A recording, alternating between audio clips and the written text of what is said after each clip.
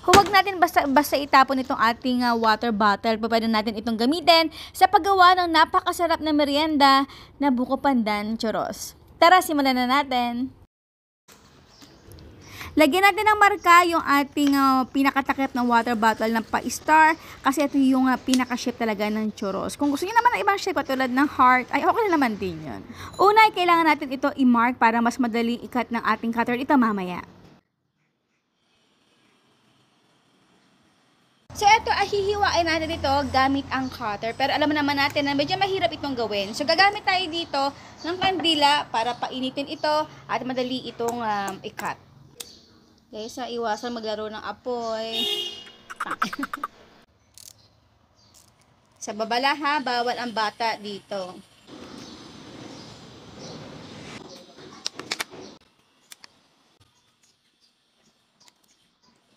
Okay, so okay na. So, hindi man perfect, pero okay na yan. At uh, make sure na hugasan ulit natin ito. At para naman sa bottom ng ating uh, mineral water, ay uh, ito. Kapyasin natin pinaka-bottom nito.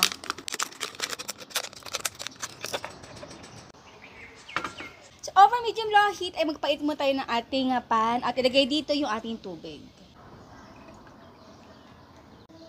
Asin, konti lang. 2 tablespoon ng sugar. At ng ating 1-3 cup na butter.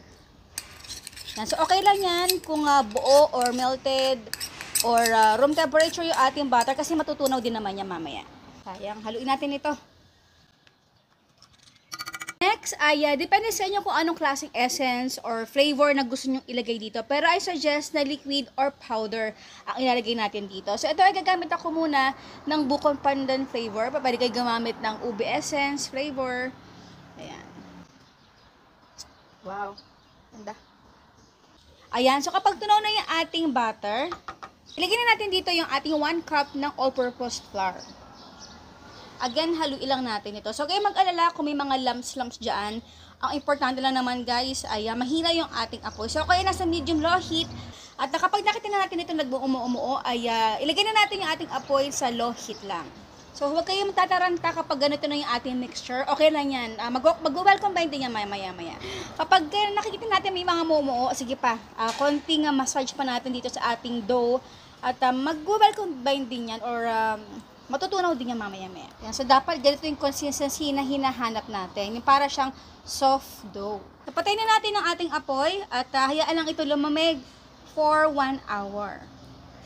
After 1 hour, ay tingnan natin yung ating dough kung okay na at hindi na mainit. Ayan. At ito ang dahilan kung bakit natin kailangan na palamigin yung ating dough dahil maglalagay tayo dito ng itlog at ayaw naman natin itong maluto dito. At ang ating next step ay dito ay pwede tayo gumamit ng hand electric mixer. Pero wala tayo nun, kaya ito na lang gagamitin ko na kamay. Pero make sure na meron tayong gloves para naman syempre malinis. At uh, ayan, paggaluin lang natin itlog at yung ating dough. Huwag kayo mag-alala kung ito ay magiging mamasa-masa at magiging malabnaw. So mamaya along the way na kapag ito hinahalo natin, ay magiging smooth din yan. Ayan, mukhang okay na yung ating dough. Then, i-transfer na natin ito sa bote na tinapyas natin kanina.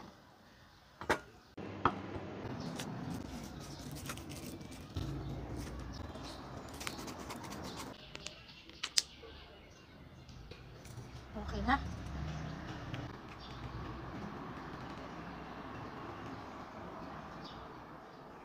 Next, ang ating gagawin ito, meron ako ditong parchment paper, pero itong procedure na to guys ay uh, optional lang naman. Nako, alam ko na marami na rin ang magtatanong na, Mama Shirley, bakit mo po yung ginagawa? Kasi mamaya pagluto natin ito or pagpirito at kapag directly natin itong uh, niluto sa oil ay uh, magre-reform yung ating shape. So kailangan natin ito protektahan by doing this. Pero again mamaya ay itatry natin kung aakma ba kahit diretsuhin na natin ito sa mantika. At syempre, bago natin ito isalang ay magkasya na napainit mo muna natin ating mantika over medium low heat at kumuha lang ako dito ng maliit. Tingnan natin. Ayan, okay na.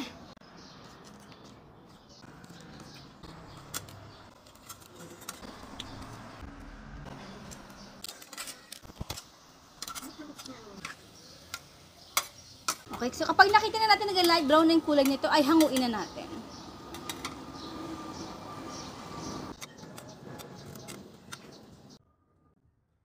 Ay, ang loob. Kasi lang lang.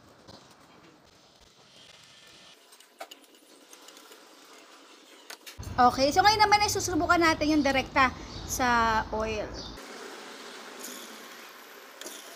Ayan, so mukhang okay naman yung ating direktang paglagay nito sa ating oil. Pero make sure guys, na kailangan naman init yung ating mantika para lumutang agad-agad yung ating churros. Kung hindi, naku, didikit ito sa pan at madideform yung pinaka-shape na ating ah, churros.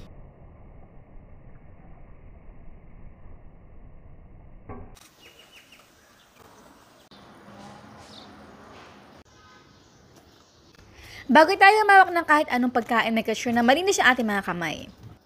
At ang ating next na gagawin natin, ay paghahalog natin natin ating cinnamon. So, ito ay fresh guys ha. Talagang ginrind ko siya. So, kung meron kayong talagang powder ng cinnamon, ay okay na naman din yon.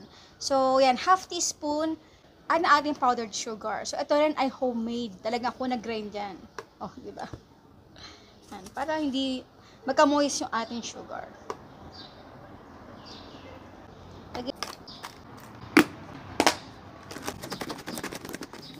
Mas madali yung trabaho natin kung ganitong paraan yung ating gagawin.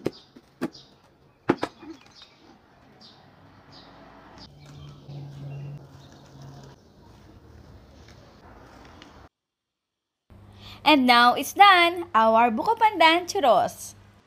Aba, eh syempre ito hindi mawawala. Ang tanong ni Mama Shirley, anong flavor at kulay ng ginamit natin dito sa ating napakasarap na merienda na churros? Ang inyong sagot sa comment box section. Tara na guys, lalo pa tumpik-tumpik pa. Kain po tayo ng ating bukong pandan churros. Nahulog pa yung isa. Okay? Ano pa tumpik-tumpik pa? Kain po tayo. Hmm. Hmm. Hop.